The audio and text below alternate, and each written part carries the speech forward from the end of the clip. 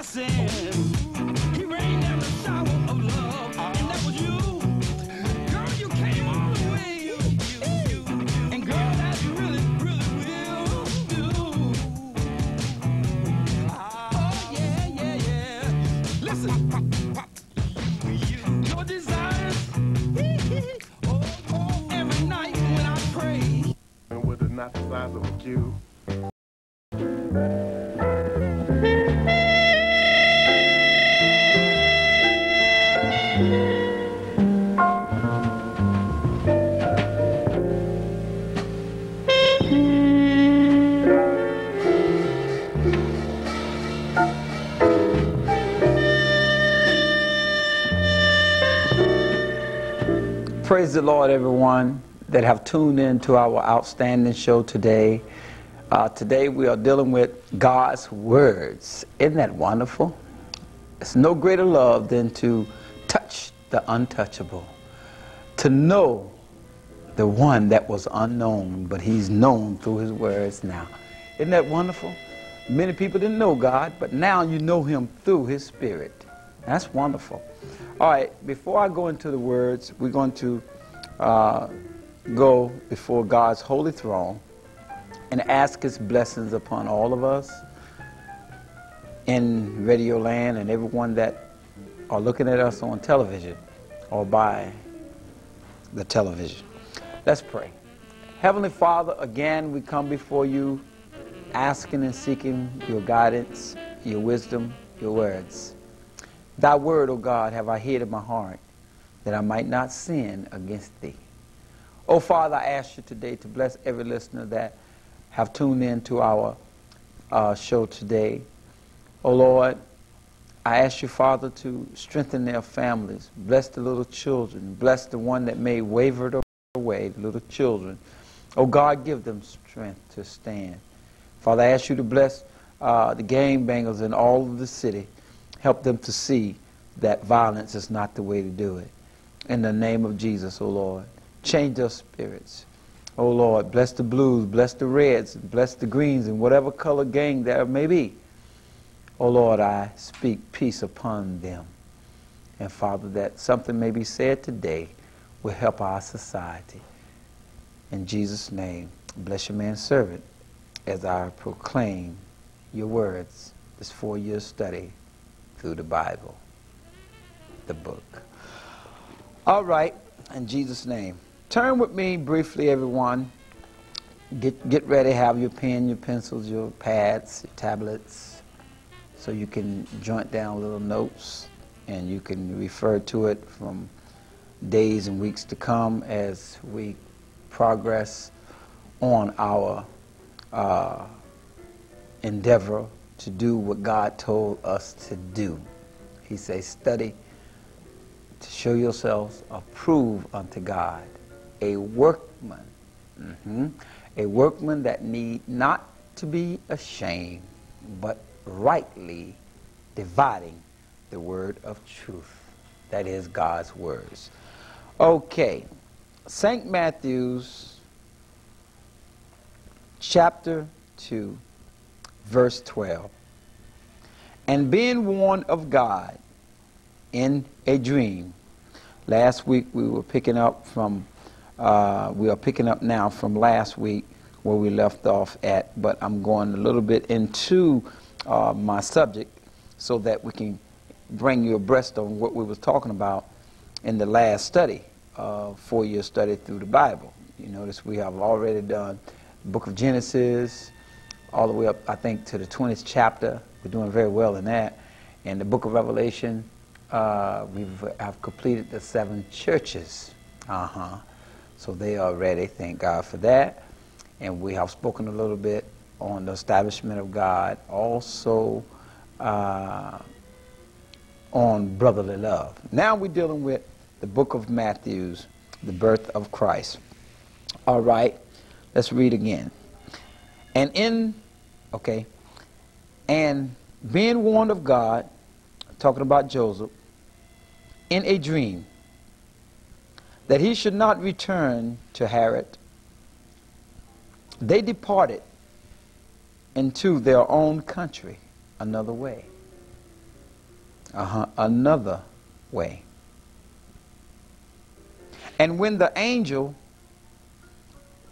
excuse me, and when they were departed, behold, the angel of the Lord appeared unto Joseph in a dream, saying, Arise, and take the young child and his mother, and flee into Egypt, and be thou there until I bring thee words, for Herod will seek to kill the young child to destroy him. When he arose, he took the young child and his mother, the mother was Mary, by night and departed into Egypt. Uh huh. And was there until the death of Herod, that it might be fulfilled which was spoken of the Lord by the prophet, saying, Out of Egypt have I called my son.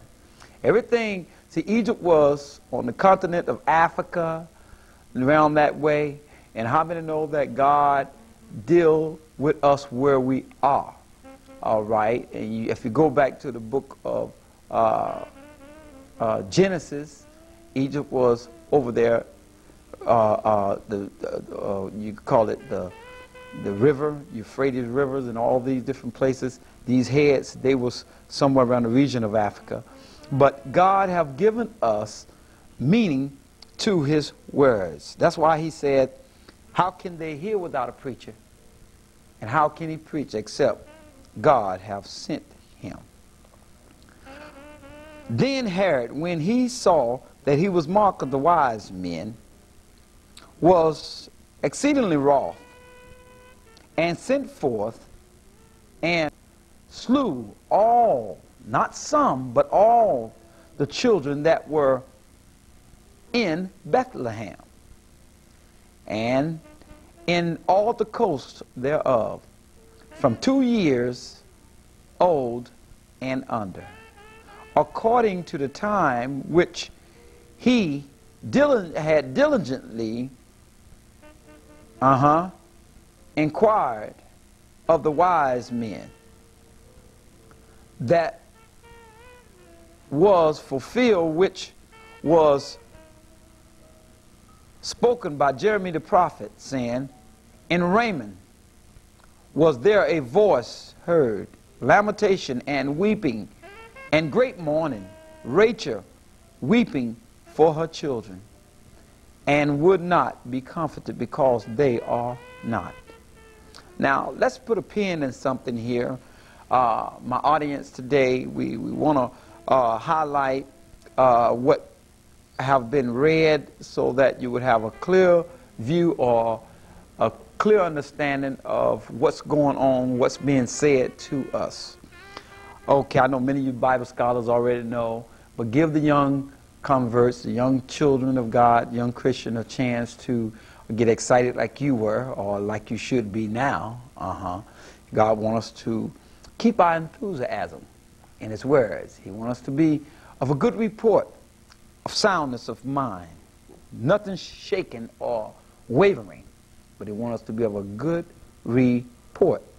Okay, so we notice here as I highlight what I just read, uh, first of all, we realize that Joseph was a just man, the Bible says. He was a just man. All right, the story uh, came about concerning this child, which was Jesus. His name was called Emmanuel. When, when you interpret that, or by being interpreted, that mean meaneth God with us. That what uh, Jesus' name represents. God with us when you look at it concerning Emmanuel. Okay?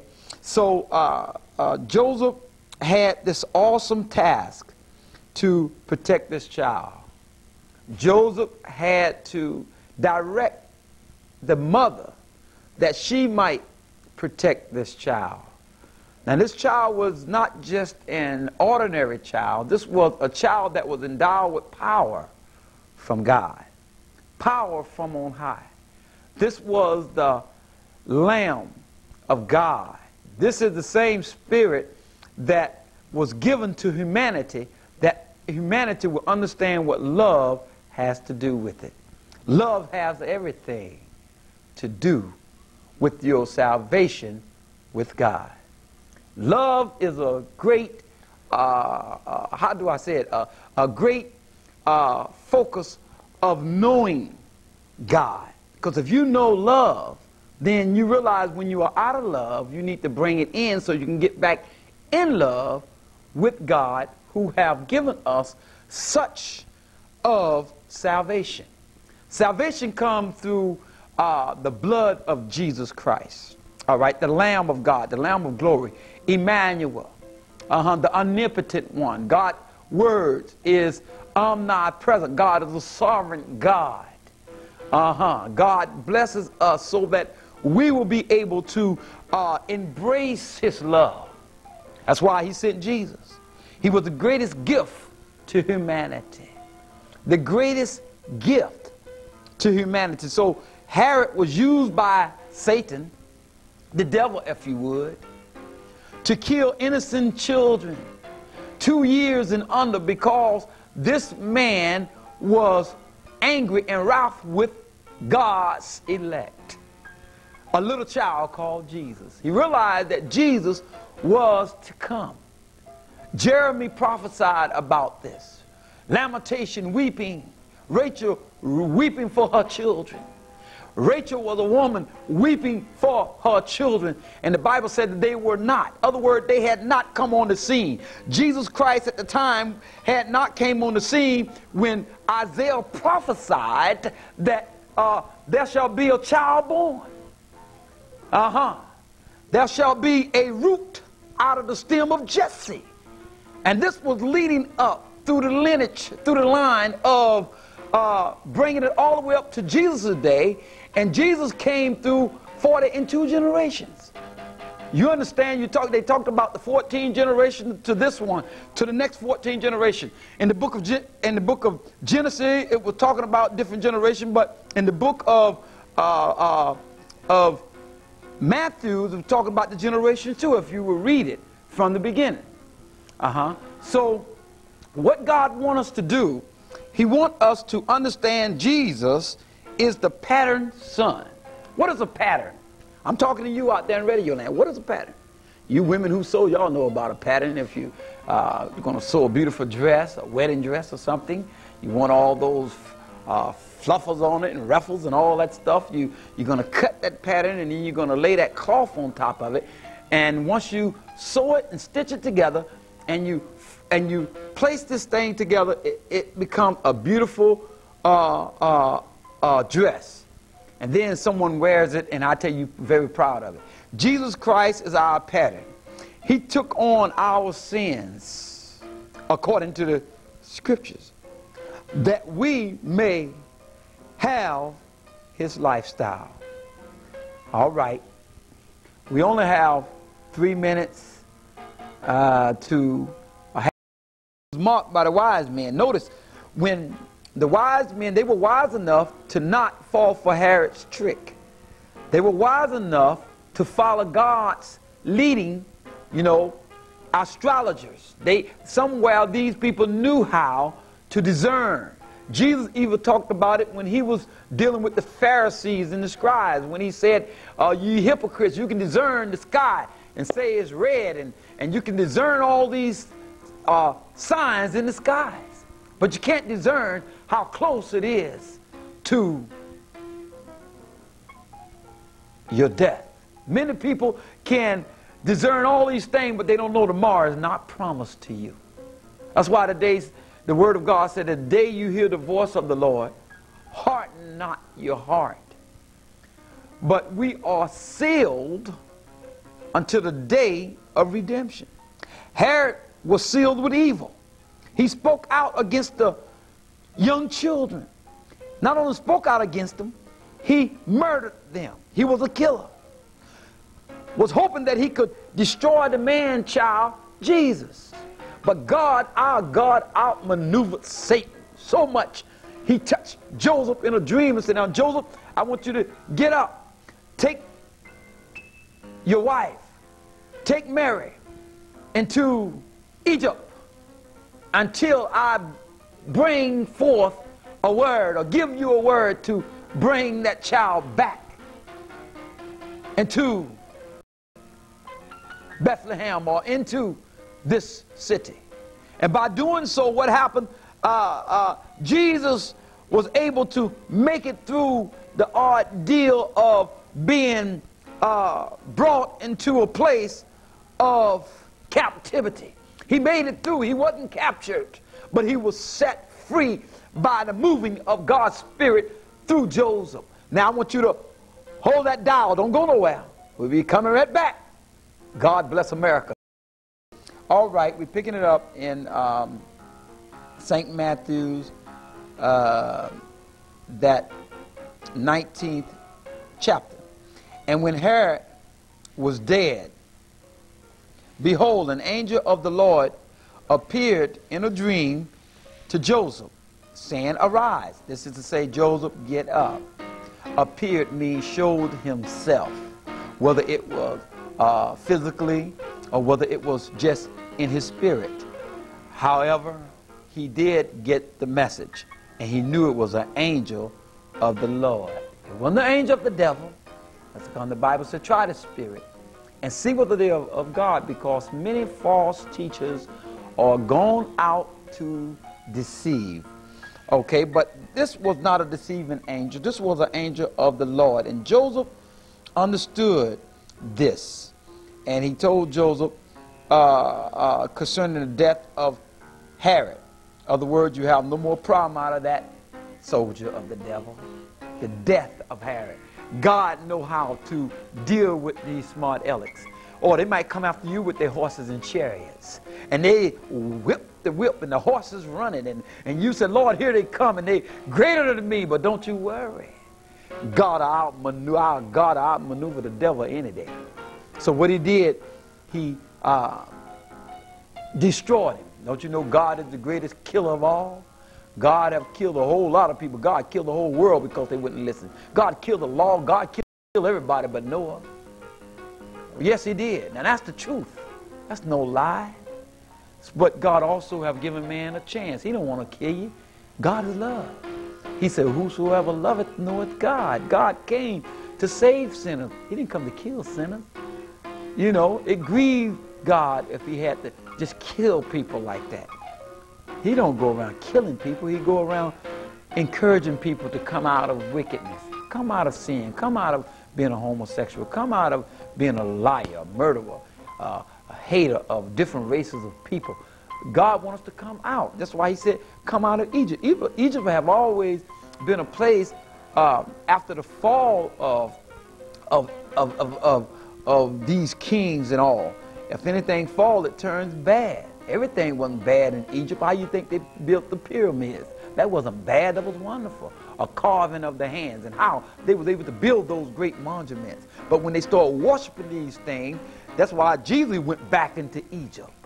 Egypt haven't always been a bad place, but when sin get in a place, whether it's America, whether in Egypt, or whether it's in, in over there in, in, in, in the Middle East, wherever it is, wherever sin is, it corruption corruption takes place and destroys the character of what the thing stands for. So people now look at Egypt and they say, well, uh, out of Egypt, out of Egypt, Egypt is bad. Yes, you know, I mean, when sin come in, it ruins a good thing. You understand what I'm saying, my brothers and sisters? I'm talking to you. I'm talking to you because I know you want to hear from the Lord. And because you look and you are hearing from God's messenger, God's servant, God's friend. Isn't that wonderful? And you are my friend too. That's the reason I preach like I do. Yes, uh, we're going to uh, invite uh, in today, before I close this show, we only have maybe about three or four minutes, maybe five minutes, but uh, we're going to ask Prince George to come in and uh, he, he, he will give us what he have to ask or what he have to say concerning this show today. Come on over, George. There you go. Well, uh, How you doing, Prince George? How you doing? How you doing doing? Ken? very well, very well. Good to have you on my show as a I'm, I'm guest to be here.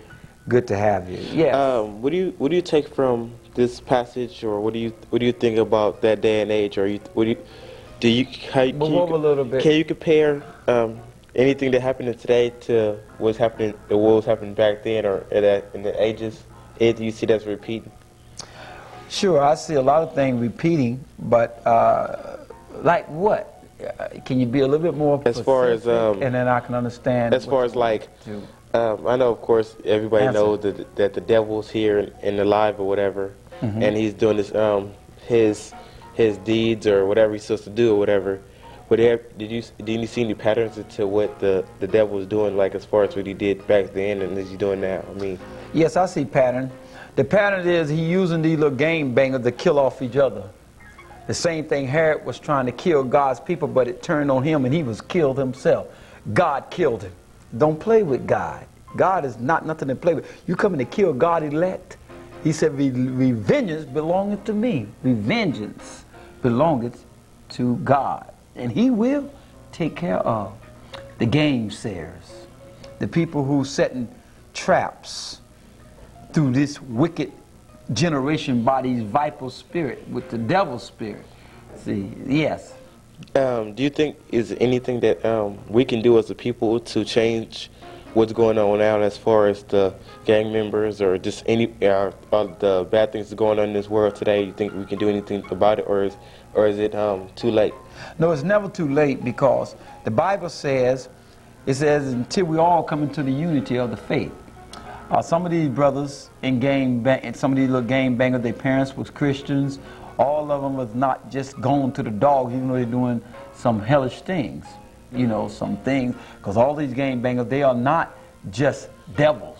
I'm telling you that. Yes, they're doing wrong, and you got to pay for wrong, because the Bible said it's so that sinners shall surely die. So it's our job as a, a Christian to take the oversight to pray for them and to set up some kind of uh, activity for these little brothers or sisters that have strayed away to help them if they want to be helped.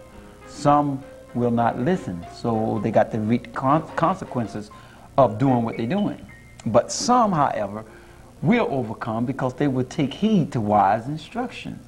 But a fool will make mockery of you, of me, and of anyone. Like Herod was a fool. He was making mockery, saying he's going to kill the Lamb of God. Now he made a fool of himself, operating under the spell of the viper spirit, uh, of the evil spirit. Look at Moses' time. Remember when Moses cast his serpent down, and his serpent ate up the other serpents? Because that serpent that Moses had, actually, that was a miracle.